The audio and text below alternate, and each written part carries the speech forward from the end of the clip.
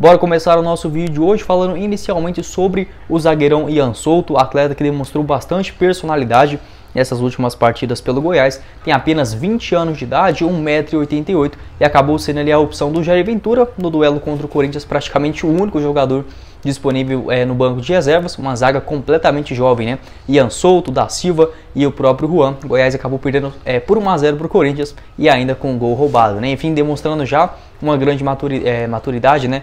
Naquele duelo fora de casa, muito bom na, nas suas interceptações, nos passes também é, e principalmente na bola aérea. Agora contra o Atlético Goianiense, basicamente o mesmo cenário. Um jogador que estava no banco de reservas, o da Silva que vinha é, ganhando né, um pouquinho mais de minutos com o técnico Jair Ventura, acabou sentindo logo com 5 minutos apenas é, da partida e teve que ser substituído. E novamente o Ian Souto sendo essa alternativa no banco de reservas, entrou muito bem e conseguiu ser um dos destaques da defesa do Goiás. Diria que foi o melhor defensor ali, tanto ele quanto o próprio Dieguinho, né, é, sendo lateral pelo lado direito do campo para o escape das jogadas. Pois é, né, o Ian Souto realmente que muita gente é, já ficou com medo, né? Nossa, será que o Goiás fez alguma é, bobeira em relação ao seu contrato? E dá para a gente ficar bastante tranquilo. Isso porque ele veio do Floresta ainda em abril dessa temporada de 2022, time que, por exemplo, está na Série C, mas no estadual acabou sendo rebaixado no ano passado, joga a segunda divisão do estadual, mas vai para o seu segundo ano consecutivo na Série C do Campeonato Brasileiro. O Ian Souto ele chegou no Goiás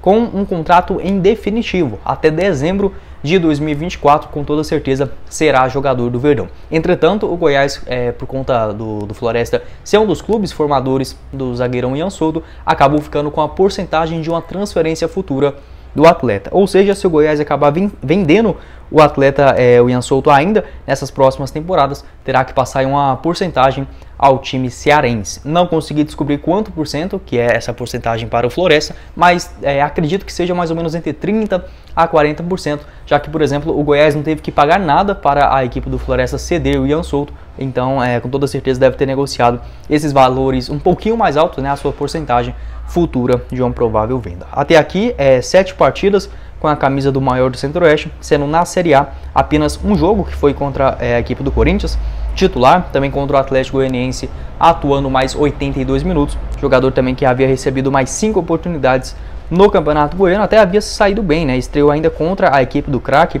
lá no dia 13 de março. Depois disso também participou diante o Iporá duas vezes e a equipe do Atlético Goianiense, onde acabou ficando manchado, né, naquela final do Goianão. Enfim, boa personalidade, 1,88m de altura, acho que pode estar pintando em uma boa promessa das categorias de base do Verdão. Quero saber sua opinião aqui embaixo nos comentários também sobre o zagueirão Ian Soto, se merece né, ser titular é, dentro desse elenco do Goiás, que infelizmente conta com diversas lesões.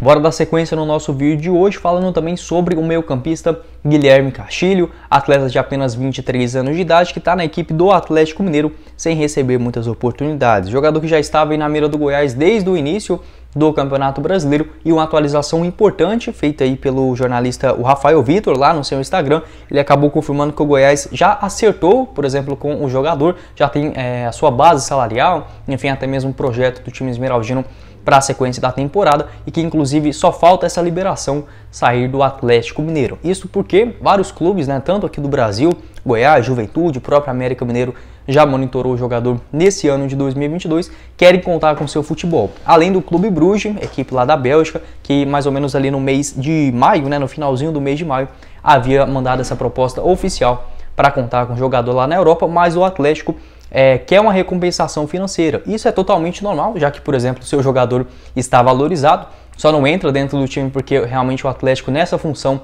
de camisa 10 ou até mesmo de um segundo volante tem excelentes jogadores para a sua posição, acaba que o Guilherme Castilho fica um pouco sem espaço, né? Com toda certeza é um, é um cara que se for titular em qualquer clube da Série A do Brasileirão, pode fazer bonito já como havia feito, né, na temporada passada com a camisa do Juventude. Ou seja, o Goiás tem é, esse encaminhamento, pelo menos com o jogador e o seu empresário. Entretanto, com o Atlético Mineiro, aí sim, né, que é uma recompensação financeira, até mesmo o próprio Geliezer Paulo, né, jornalista né, que tem um canal aqui no YouTube também, ele havia comentado sobre né, essa situação do Guilherme Castilho e que o Goiás estaria sim disposto a fazer uma oferta financeira para o Atlético Mineiro para contar com seu empréstimo. Aí eu fico na dúvida, se o Goiás, por exemplo, é, buscar o jogador agora, nessa metade do ano. Não sei se seria tão lucrativo assim fazer um pagamento, é, vamos supor que de um milhão de reais para contar com o jogador por apenas seis meses. Eu acho que se fosse fechar esse negócio, seria pelo menos de um ano e meio, ou seja, um contrato ainda que de empréstimo, mas o Goiás fazendo um pagamento ali mínimo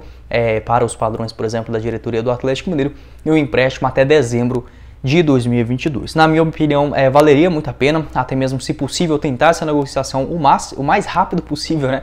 É, já agora para o segundo turno do Campeonato Brasileiro, às vezes até mesmo topando pagar 100% dos seus salários até dezembro. Acho que poderia ser um jogador para ajudar demais esse meio de campo do Goiás, que é bastante limitado. Ele pode fazer uma função tanto quanto um segundo volante, corre muito bem, marca bem também, é um cara com muita garra, enfim, é bem diferente é realmente aqui para o futebol brasileiro. Já havia demonstrado bastante qualidade no ano passado pelo Juventude. Inclusive o Atlético Mineiro pode sim emprestar até com certa tranquilidade o Guilherme Castilho, já que seu contrato é longo, vai até dezembro de 2025 com a equipe de Belo Horizonte, ou seja, um empréstimo, por exemplo, de um ano e meio com o Goiás tirando a mão do bolso, né, fazendo aí, por exemplo, uma, uma quitação de um valor, poderia ser bem interessante. Em relação à compra definitiva, aí eu já acho pouco provável, já que, por exemplo, segundo o site Transfermarkt, o seu valor gira na casa de 1 milhão de euros, o que na cotação atual daria mais ou menos 6 milhões de reais, né? Vamos supor por aí. Acho um valor baixo, acho que se chegar essa proposta para o Atlético, eles nem pensam em vender nem, nem 10, nem 30% do jogador. Mesmo assim, né? Acho que se for uma proposta para um empréstimo, valeria muito a pena. Em 2022, como eu havia comentado com vocês, né, atleta que não teve tantas oportunidades assim, apenas oito jogos pelo Atlético Mineiro, sendo o último contra o Ceará, onde inclusive foi titular, atuou 85 minutos, deste duelo. Suas principais chances foram tanto no, é, no Campeonato Mineiro, onde fez quatro jogos, e na Copa do Brasil, nos dois jogos contra a equipe do Brasiliense. Sempre fica no banco de reservas, mas como eu disse, né, o Atlético Mineiro com várias opções acaba não tendo tantas chances assim. Ano passado, pelo Juventude, 46 jogos, 8 gols marcados e 6 assistências. Acho um perfil muito legal para o Goiás ficar de olho nessa temporada, trazer jogadores que estão, estão jovens, mas que já demonstraram ter qualidades e hoje, ou por exemplo, ou estão encostados né, em outros clubes é, dos ditos grandes, sem espaço no elenco, ou propriamente trazer desses outros clubes, tanto da Série B quanto da Série C, mas que já são, é, ainda são jovens e que já tenham mostrado um bom futebol. Quero saber sua opinião aqui embaixo nos comentários também sobre o Guilherme Castilho, se vale a pena o Goiás tirar a mão do bolso né, e fazer uma proposta financeira para contar com o futebol do jogador. Bom, esse foi o vídeo, eu espero que vocês tenham gostado. Não esqueça de deixar seu like aqui embaixo, também de se inscrever no nosso canal e ativar as notificações. Confira também os nossos outros vídeos do pós-jogo, inclusive que eu gravei ontem, vou deixar aqui na tela final. E também o nosso canal de cortes, onde a gente pega ali os melhores é, momentos né, de cada um dos nossos vídeos. Coloca lá em no máximo 4 minutos. Vou estar deixando o link aqui embaixo na descrição e no primeiro comentário fixado. Quem falou com vocês foi o Guilherme e nos vemos na próxima oportunidade. Meus caros esmeraldinos. Valeu, galera!